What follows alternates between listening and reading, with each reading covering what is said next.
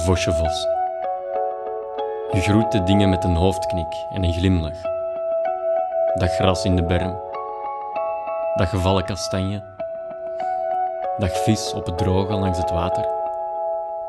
Dat wolk in de vorm van een bloem. Ploem ploem.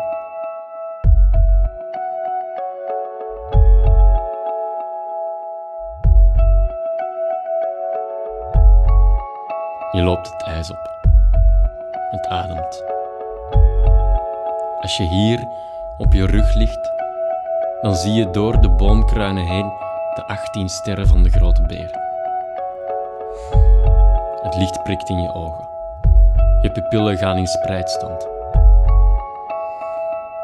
Een dauwdruppel groeit aan je onderlip en je denkt aan het roodborstje.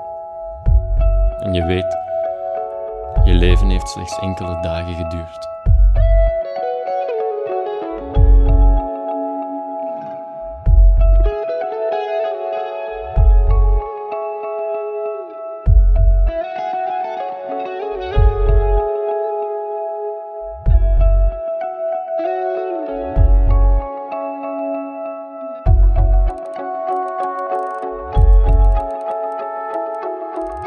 Vraagt je af hoe de onderkant van de bomen eruit ziet.